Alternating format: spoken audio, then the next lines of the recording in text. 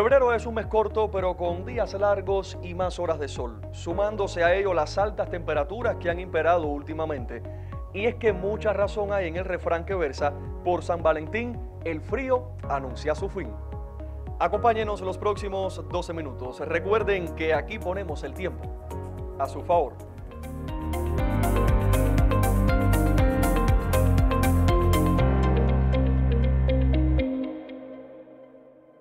Las temperaturas en la semana precedente aumentaron ligeramente con respecto al periodo que le antecedió. Predominaron registros positivos en la mayoría de los días del plazo analizado. Este comportamiento hizo que el valor medio fuera clasificado ligeramente por encima de la norma. De forma general, hacia las zonas llanas predominaron valores entre 22 y 24 grados Celsius y hacia la zona montañosa estuvieron entre 18 y 20 grados Celsius.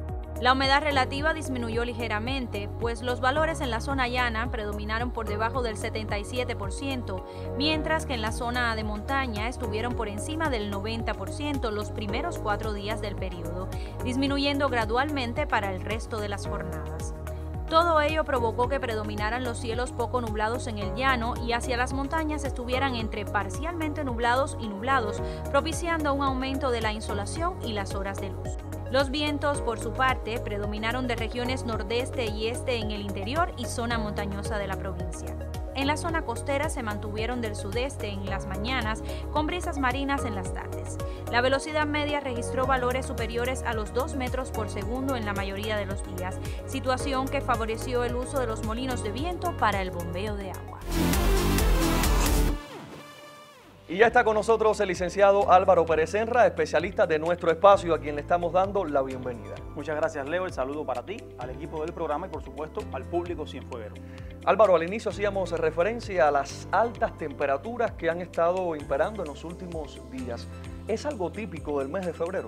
Realmente lo que diferencia a un febrero caluroso del verano es que en el verano tenemos calor durante el día y la noche, pero como pueden ver durante los últimos días hemos tenido tardes bastante calurosas, pero madrugadas bastante frías. Y este es el contraste de temperatura que tipifica este mes del año.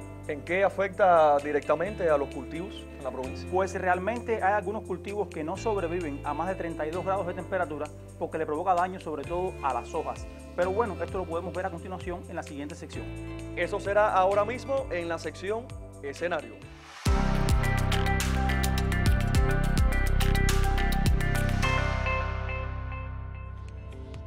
El monitoreo agrometeorológico realizado durante la pasada semana ha mostrado que en los campos se mantiene la fructificación y floración en la mayoría de los frutales, como por ejemplo el mango, la guanábana, la chirimoya y el aguacate. Sin embargo, los vientos asociados a los pasados frentes fríos han provocado la caída de flores y algunos frutos, sobre todo en el mango. El viento es un factor esencial que en muchas ocasiones constituye una limitante para la fruticultura, al ser muy dañino para la mayoría de estos cultivos. Este puede provocar rotura de ramas y caída de los frutos, fundamentalmente cuando están pequeños. Su impacto durante la floración también puede reducir el número de flores polinizadas y por consiguiente de los frutos, sobre todo cuando el viento es muy seco. En muchos casos es indispensable establecer cortinas rompevientos para atenuar su incidencia. La provincia continúa con la cosecha de la caña de azúcar y las labores para prevenir los incendios en las plantaciones. Sepa también que ha comenzado la siembra de esta gramínea en aquellas áreas que poseen riego, así como las atenciones culturales a las nuevas plantaciones y los retoños que se van liberando. La actual zafra azucarera sigue beneficiándose con las condiciones meteorológicas existentes, pero el proceso de formación de brotes superficiales en las áreas de retoños liberados se ha visto afectado considerablemente por la falta de humedad en los suelos. La brotación se refiere al inicio del crecimiento a partir de las yemas presentes en los tallos plantados o en los que quedan en pie después de la cosecha del cultivo anterior. Durante esta fase es necesaria la disponibilidad adecuada de agua y el control de malezas. Para continuar cerca de ustedes, una vez concluido nuestro espacio televisivo, recuerden que contamos con una página en Facebook y un canal en YouTube donde publicamos todas nuestras emisiones. A través del correo electrónico taf.perlavisión.icrt.cu estaremos recepcionando sus sugerencias y recomendaciones. Si quieren conocer muchísimo más sobre ciencia, tecnología, medio ambiente y meteorología, pueden acceder a las páginas web del Telecentro Perlavisión y el Centro Meteorológico Provincial. Por estas vías se han comunicado muchos de nuestros fieles seguidores. Hoy queremos saludar a Mireisi Fernández, quien reside en el municipio de Rodas. Rogelio López, especialista en meteorología y que apoya muchísimo las informaciones que brindamos en nuestro espacio. Y también saludamos a Andrea Serrano, residente en Playa La Habana y que nos sigue a través de las redes sociales. A todos, muchísimas gracias por la complicidad.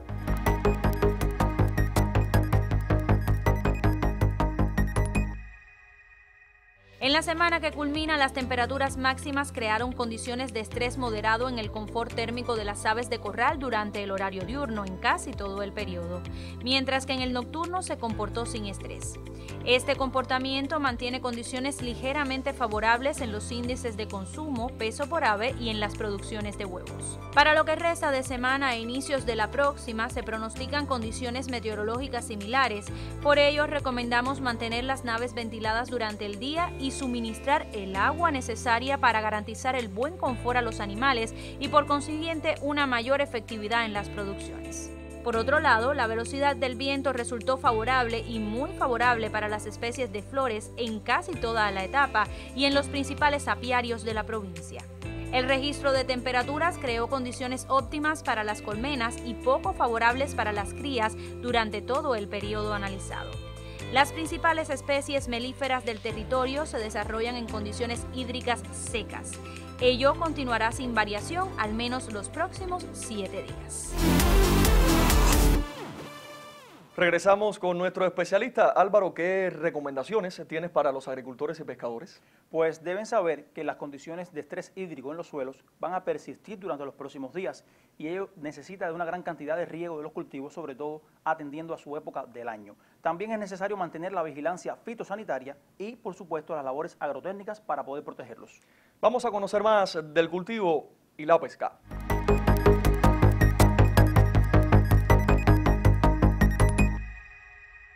Ayer miércoles comenzó la fase de cuarto menguante, periodo en el que la savia se mueve hacia abajo y por ello resulta beneficiosa la siembra de raíces comestibles, el corte de madera cuyo fin sea la construcción y también es el momento ideal para realizar trasplantes.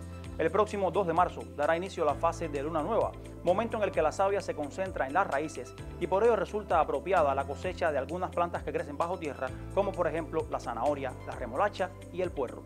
Continúan predominando en la provincia las condiciones de alto peligro y peligro extremo de incendio en la vegetación, según el índice de Nesterov. En la última semana fueron identificados por los satélites meteorológicos 131 focos de calor, muchos de ellos ubicados en áreas cañeras. Los municipios más afectados continúan siendo Lajas, Rodas, Palmira y Cruces. A los hombres de mar, como cada semana, les recomendamos mantenerse al tanto de las informaciones del Centro Meteorológico Provincial. Sepan que a partir del próximo lunes el viento girará del norte al nordeste, con velocidades algo fuertes entre 20 y 35 kilómetros por hora, y esto pudiera provocar oleaje en la zona costera, siendo desfavorable la navegación de embarcaciones de hasta 12 metros de eslora. En cuanto a la influencia de la luna para la pesca, les comentamos que será desfavorable los primeros cuatro días del plazo, pues la influencia de la fase menguante hace que la captura de los peces se comporte deficiente. Ya hacia el final del plazo, comenzarán a mejorar al acercarse la fase nueva.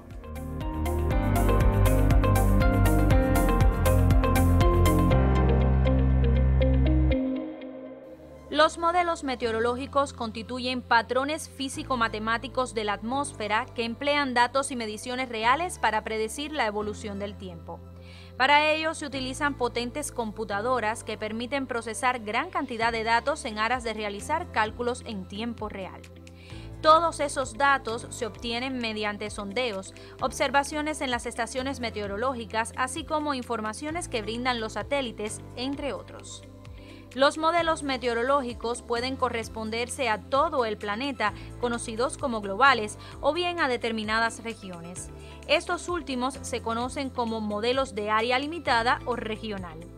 Existen otros que se emplean para hacer simulaciones de ciertos fenómenos de gran turbulencia con fines de investigación y prevención de peligro, como dispersión de gases y otros contaminantes. No todos los modelos se realizan siguiendo los mismos métodos, ni tampoco se presentan de la misma manera. Un gran número de ellos han sido desarrollados por diversas agencias y organismos que han implementado diversas metodologías para la elaboración de dichos pronósticos. Por tal motivo, especialistas del Centro de Física de la Atmósfera implementaron hace algunos años un sistema de pronóstico de plazo inmediato y plazo medio, identificados como SISPI y Sobre la base del modelo HWRF y con las parametrizaciones adecuadas a la zona tropical. Dichos modelos se emplean hoy por nuestros meteorólogos para predecir el tiempo que hará en cada territorio. Y casi para finalizar nuestro programa vamos a conocer el pronóstico extendido para los próximos siete días. Y si al inicio habíamos mencionado las altas temperaturas que han hecho en febrero, al parecer vamos a despedirlo con un refrescamiento, ¿sí o no? Así mismo es, Leo. Todavía el fin de semana vamos a tener calor, como se puede apreciar, con temperaturas máximas sobre los 30, 31 y hasta 32 grados Celsius, pero como pueden apreciar, sábado y domingo habrá un ligero incremento en la probabilidad de lluvia debido a la cercanía de un sistema frontal que aunque no pasará sobre territorio nacional, se va a acercar bastante a la costa norte del país. Ya para la próxima semana, el lunes, el viento girará componente norte producto de la influencia de una nueva masa de aire anticiclónica y como pueden ver, el martes en la tarde habrá bastante bajas temperaturas, máximas de 24 grados Celsius, mientras que la madrugada del miércoles pudiera ser la más fría, con mínimas entre 14 y 15 grados. De manera general no es un frío muy marcado, pero sí un refrescamiento que viene bien producto de las elevadas temperaturas. Seguro que sí. Álvaro, gracias por la información que nos acabas de brindar y también en cada una de las secciones. A ustedes también nuestra gratitud por la sintonía. Regresen la próxima semana, jueves 12 y 30 del mediodía. Aquí este equipo de trabajo les espera para poner el tiempo a su favor.